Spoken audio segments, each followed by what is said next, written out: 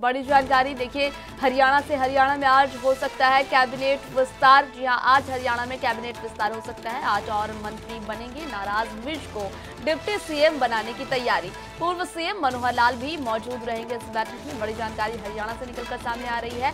हरियाणा में मुख्यमंत्री और तेरह मंत्री बन सकते हैं। सूत्र से मिली जानकारी, बता दें कि हरियाणा में आज कैबिनेट विस्तार हो सकता है। बड़ी जानकारी, देखिए, हरियाणा से। हरियाणा में आज कैबिनेट विस्तार की संभावना, आठ और मंत्री बनेंगे। वहीं नाराज़ चल रहे विज को डिप्टी सीएम बनाने की तैयारी भी है। पूर्व सीएम मनोहर लाल भी रहेंगे मौजूद। जी हाँ मनोहर लाल भी इसमें मौजूद रहेंगे। बता दें कि हरियाणा में मुख्यमंत्री और तेरह मंत्री बन सकते हैं। बड़ी जानकारी सूत्र के हवाले से। हरियाणा में आज कैबिनेट विस्तार की संभावना जताई जा रही है। बता दें आपको कि आज और मंत्री बनेंगे। वहीं विज जो अब तक नाराज़ चल रहे थे, उनको डिप्टी सीएम बनाने की तैयारी भी चल रही है। पूर्व सीएम मनोहर लाल भी इसमें मौजूद रहेंगे।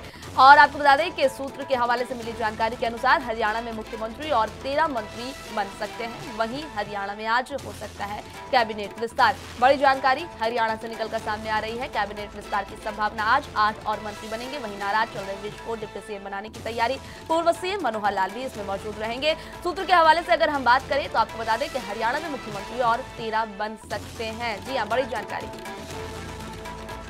इस खबर पर जानकारी साझा करने के लिए हमारे साथ अंकुर कपूर जी फ़ोन लाइन पर जुड़ गए हैं। जी अंकुर जी, आज हरियाणा में कैबिनेट विस्तार की खबर है। वहीं जो विज अब तक नाराज़ चल रहे थे, उनको डिप्टी सीएम बनाने की तैयारी है। और बड़ी जानकारी तो ये है कि हरियाणा के पूर्व सीएम मनोहर लाल भी इसमें मौजूद रहेंगे। क्या कुछ जानकारी है? बात करें हरियाणा सरकार की तो इस समय जो मंत्रिमंडल का आज विस्तार होने जा रहा है सूत्रों से जो जानकारी मिल रही है कि जो देर रात सीएम नैब सैनी है और पूर्व सीएम मनोहर लाल खट्टर हैं उन्होंने अमित शाह से मुलाकात करी और हरी झंडी ले ली है। तो इन सारी चीज़ों को लेकर माना जा रहा है कि दोनों ने शाह से जो मंत्रिमंडल विस्तार के लिए जो संभावित मंत्रियों के नाम और लोकसभा की जो बकाया चार सीटों पर भाजपा के जो प्रत्याशी हैं, उनको चयन को लेकर आज अंतिम चर्चा इस बैठक में कर लिया है। और अब जो मंत्रिमंडल के विस्तार होगा, उसमें हिसार रोहतक सोनपत कुशेश्वर सीट पर जो प्रत्याशी है, उनकी घोषणा हो सकती है। वहीं दूसरी तरफ़ जो सूत्रों से जानकारी मिली है, इसमें सोना के जो विधायक हैं, संजय सिंह, उनको भी यहाँ जगह मिल सकती है।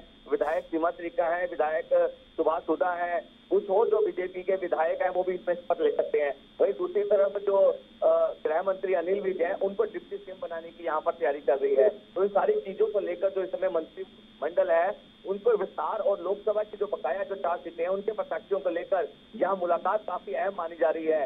वहीं दूसरी तरफ़ अगर हम बात करें, सीएम नैन सैनी, वो जो वीरवार को कल दिल्ली पहुँचे थे, अब वो वापस आ चुके हैं और गृह मंत्री अमित शाह और जो राष्ट्रीय अध्यक्ष है हमारे जेपी नड्डा उनसे भी मुलाकात की थी। तो इन सारी चीज़ों को लेकर आज जो मंत्रिमंडल का विस्तार हो सकता है, वहीं अगर हम दूसरी तरफ़ अमित शाह ने जो एक बड़ी बात कही है कि बीजेपी के साथ भी हमारे रिश्ते खराब नहीं हुए हैं। तो इन सारी चीज़ों को लेकर जो आंकलन लगाया जा रहा है कि आज मंत्रिमंडल का विस्तार होगा। जी। जी, बहुत शुक्रिया आपका जानकारी साझा करने के लिए।